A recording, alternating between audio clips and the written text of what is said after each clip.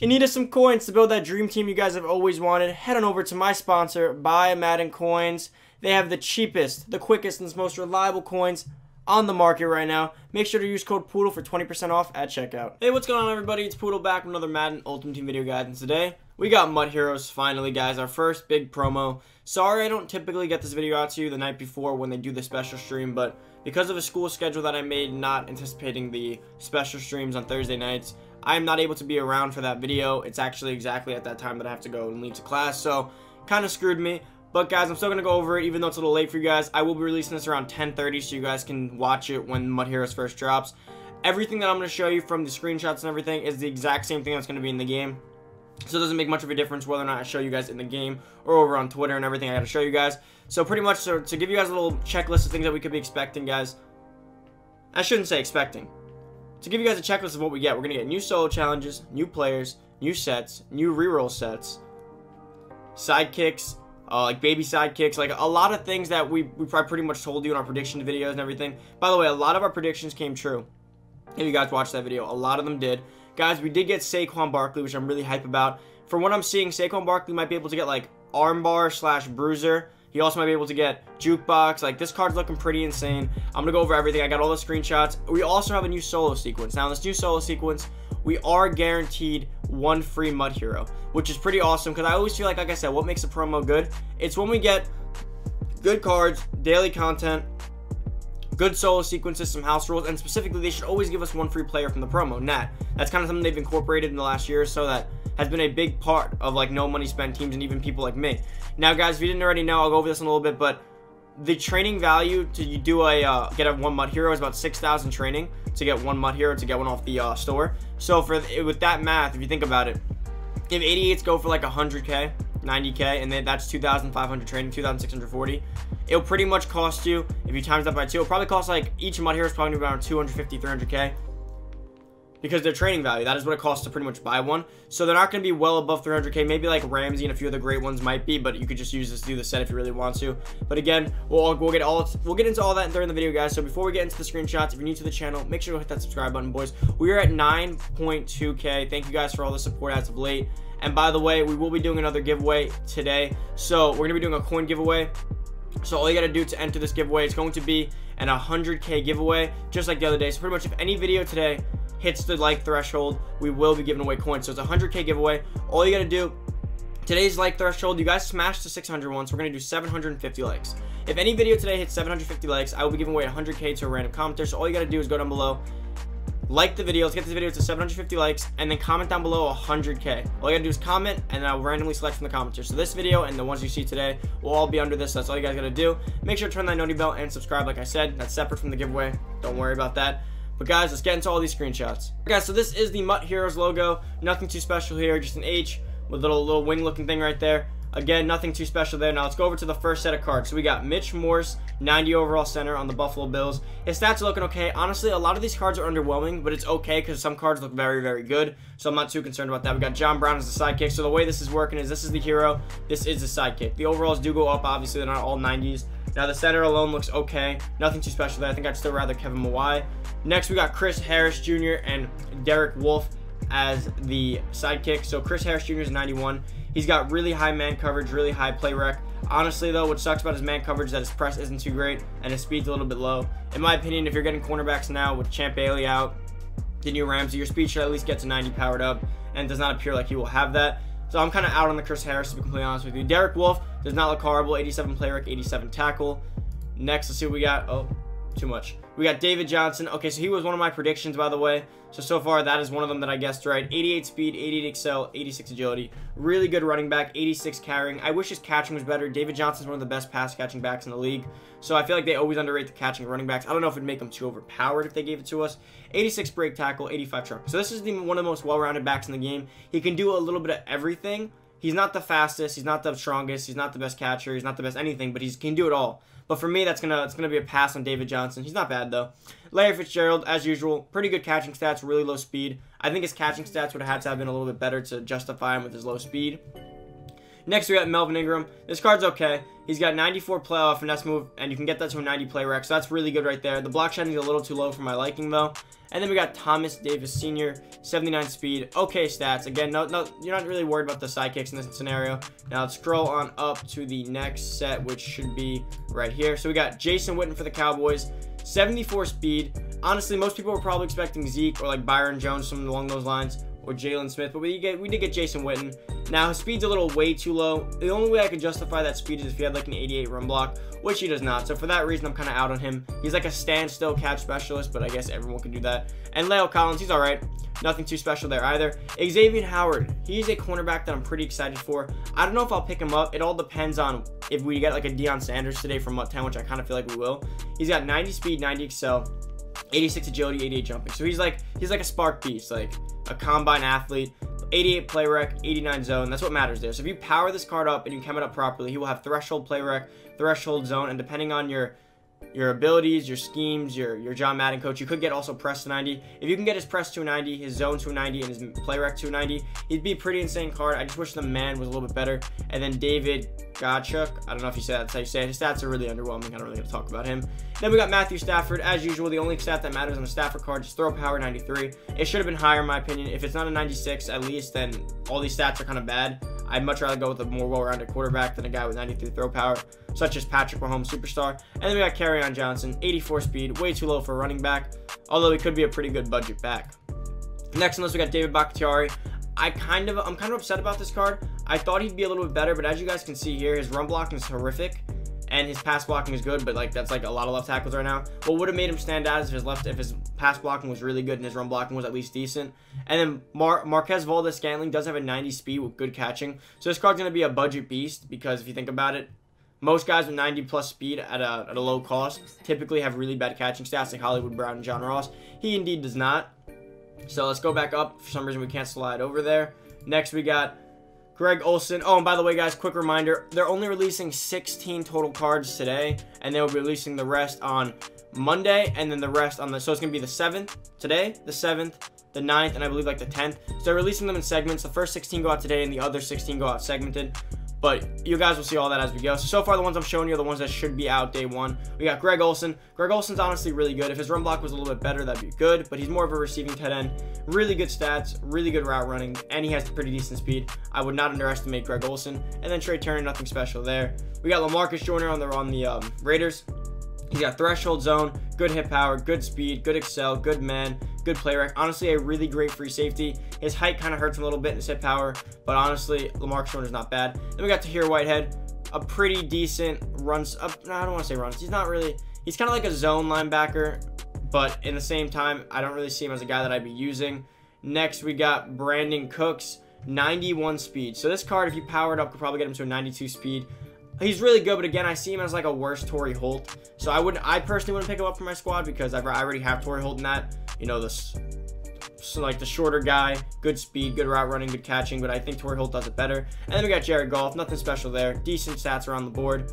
Next, we got Matthew Judon for the Ravens. He's got 79 speed, 85 excel, let's see, 87 tackle, 88 power move. So he's a he's a decent pass rusher, but not a great run stuffer with low speed. I'm kind of out on him. Then we got Marlon Humphrey, decent cornerback at best, athletic but not too much cover stats. Let's see where we're going next. So here we got Aaron Payne, and Josh Norman. It's so funny how Norman used to be like a hero, and now he's just a sidekick. So let's see, we got 73 speed, 85 tackle, 87 play rec, 92 strength. And by the way, if you guys already know, heroes typically have one really good stat. As you guys can see, that is probably strength for Da'Ron Payne. I'm, I'm out on Da'Ron Payne. Not really liking his stats too much there. And then Norman, 83 over 83 speed cornerback. I'll have to be out on that one too. Next, we got Bobby Wagner.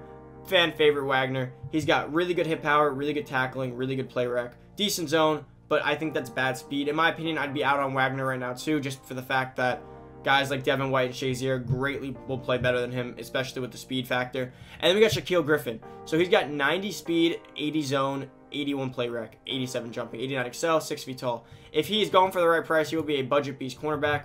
Next, we got David DeCastro. I cannot show you his stats because for some reason the screenshots from EA show on uh, Alejandro Villanueva stats twice. And then Villanueva as a whole, underwhelming again. Next, we got Adam Thielen. The issue with Adam Thielen cards are always going to be his speed. For that reason, I'm out. Like, I can just feel right now with DeAndre Hopkins and guys with that kind of speed, like, they just feel underwhelming going over the middle. Like people can keep up with him too easily. It makes it really hard to create separation. And then Brian O'Neill, not too great stats at right tackle. Let's go on to the next set. So now here are the cards that are coming soon, 10-9. These will be releasing, I believe, what is that, Monday? So these cards right here, is that Monday? Today's the 4th, tomorrow's the 5th, and the 6th, the 7th. No, these are releasing Wednesday, I believe. Although I know some should be releasing Monday. Now, we got Saquon Barkley coming out Wednesday. It kind of sucks we have to wait for him, but you know, we got to do what we got to do. But this is the card that I'm really hyped for. Saquon Barkley, 89 speed, 90 excel. So I, plan to power this card up. So I see that as 90 speed, 91 excel, 93 agility, which is huge, 92 carrying, 74 catching. That's really good catching right now for a running back. 86 elusiveness, 80 trucking, 93 break tackle. So for me, what matters here on any card is speed, break tackle, carrying, agility. Like those are the cards, that those are the stats look for in Excel, obviously. And he's got all of them well above 90. Once you power him up, all these stats will be above 90. So depending on what abilities you can get, Saquon Barkley will be in line for the best running back in the game. then we got Kyle Fuller, 89 speed, 93 zone.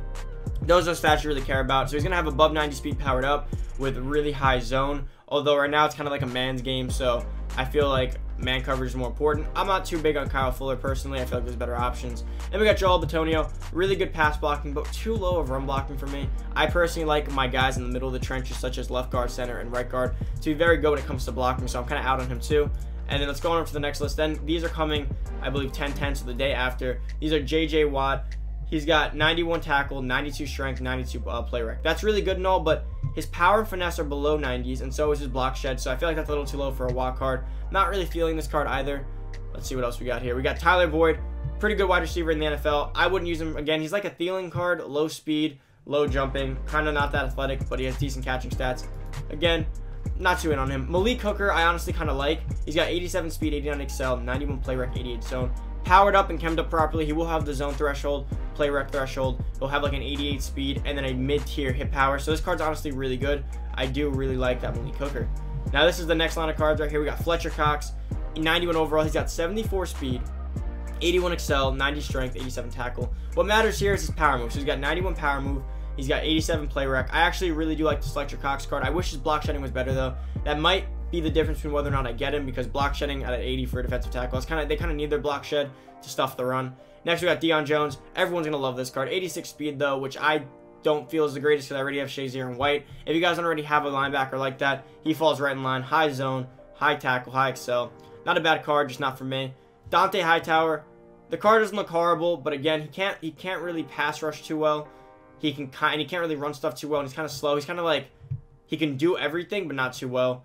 Then next, this is kind of some screenshots of what we got coming. So we got the MUT Hero solos here. As you can see, earning Nat MUT Hero. I believe it's 140 stars for one Nat MUT Hero, which is honestly quite awesome. I'm really happy. So for me personally, I'll give you guys my rankings in another video, but I'll give you guys a quick little insight on what I plan to do. So here is, we're coming over here. So these are the screenshots of the fantasy pack. Obviously, there's a Jalen Ramsey. He should be up here somewhere. I'll get to that. There's Jalen Ramsey, which is one of the guys that I'm really excited for.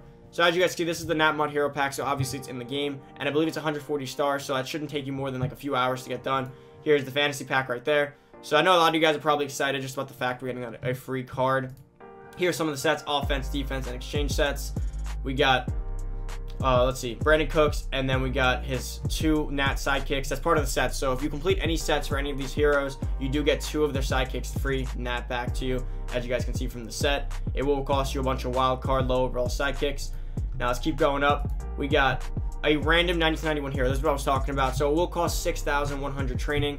So pretty much, if you convert that to money, I'm imagining it's going. That costs about 250k per se, 250k if you get the right training value. If you get the 88s for like 90k each, about 250k for a nat. I mean a random 9091 hero, which should keep the cost down of the heroes. Although some guys like Ramsey and Barkley might go for a little bit more.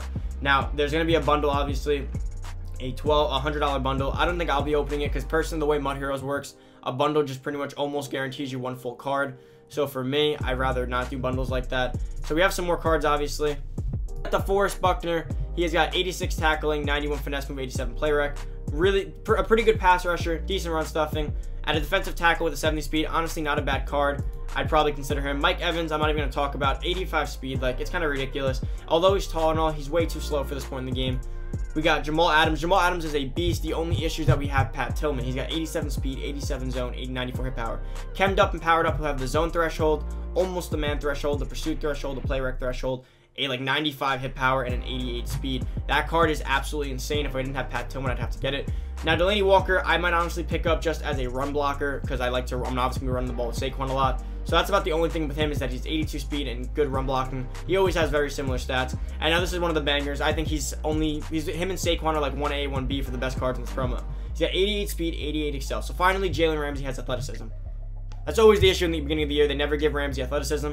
He's got 89 jumping, 88 speed, 88 excel, 92 man, 90 zone, 92 press, 87 play rec. If you power this guy up and you chem him up, he will have threshold man, threshold zone, threshold play rec, threshold press, 89 speed, 89 excel, 90 jumping, 86 agility. This card is a monster. Don't even second guess it. You need to have this card. And these are releasing, I believe, 10, 11. So that's about, was that 13 days from now? No, that's really bad math. I'm sorry. That's about seven days from now. And then we got Drew Brees, not a card that I'm really in on. Pretty decent passing stats, but really low throw power. Bad throw on the run, which is I don't really care about. And decent throw under pressure. I just, with the quarterbacks we have out right now, I'm not really a fan. Mitchell Schwartz is really good. Really amazing pass blocker, especially at right tackle. But the run blocking kind of kills him, in my opinion. I like to have my right tackles that can block too. And I think that is about it for all the screenshots, guys.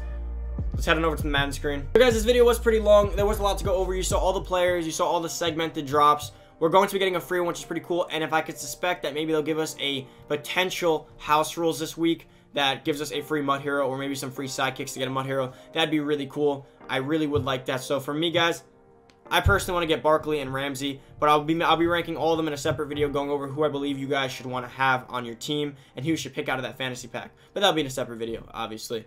All right, guys, that's it for the video. This one pretty long. Thank you so much for watching. If you made it this far, make sure to give a big thumbs up for the video, guys. Remember, if any video today hits 750k likes, I will be giving away 100k. So all you gotta do is comment it down below. Say 100k down in the comments, like the video, and make sure to hit that subscribe button, turn on that noti bell, guys. I'm out. See you guys later. Thanks so much for watching. Peace.